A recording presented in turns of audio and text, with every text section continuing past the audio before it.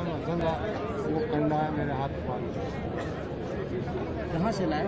मैंने मुहर्रम निकले थे अपने यहाँ। अपने गाँव के अंदर मुहर्रम निकले ना। मुझे वीडियो बनाने देंगे। वीडियो वीडियो बनाने दो ना लोगों को फ़ायदा होगा। हाँ तो क्या कह रहे हैं आप? हज़रत इमाम हुसैन। नहीं एक मिनट एक मिनट भाई साहब नहीं नहीं बोलने दो ना भाई हाँ। इमाम हुसैन इमाम हुसैन का कंडा कंडा।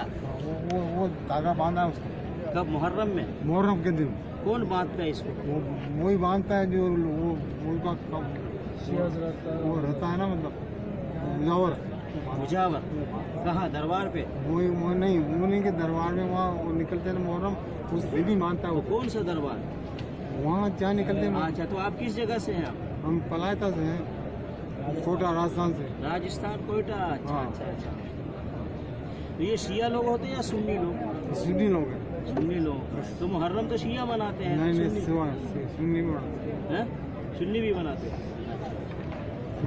तो भाई साहब देखिए आप जानते हैं यही धागा मंदिर में हिंदुओं को देता है पंडित।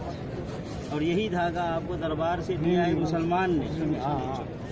धागा इस्लाम में धागा नहीं है। अगर होता तो नबी सल्लल्लाहु अलैहि वसल्लम के दरबार पे धागा दिया जाता।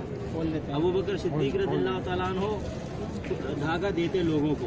उमर उस्मान अली और हसन हुसैन यहाँ से धागा देते लोगों को है। ना? इस्लाम में धागा नहीं। धागा है गैर मुस्लिमों के यहाँ या जो गैर मुस्लिमों के तरीके पे चलते हैं जो गैर मुस्लिमों के रास्ते पर चलते हैं। इस्लाम में धागा नहीं माशा शुक्रिया। बच्चे अब इसके बाद धागे को मत बांधिएगा है ना? अल्हम्दुलिल्लाह। अल्लाह ताला ने आपको यहाँ मदीने में और मस्जिद नबी में बहुत बड़े गुनाह से बचा दिया। अल्लाह से माफ़ी मांगी। इमाम हुसैन का कोई धागा नहीं है। इमाम अली का कोई धागा नहीं है अबू बकर सिद्दीक का कोई धागा नहीं है।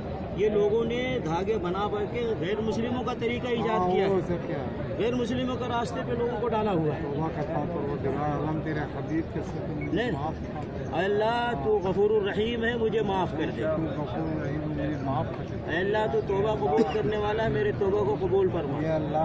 के तोबा कबूल करने वाला है मेरे तोबा को कबूल फरमा। तौबा करने वाला है। मेरे तोबा को कबूल तौबा कबूल करने वाला है। किसी का मुताज अता फरमा। चलिए अच्छी है ना बच्चे? आप शुक्रिया अच्छा आइए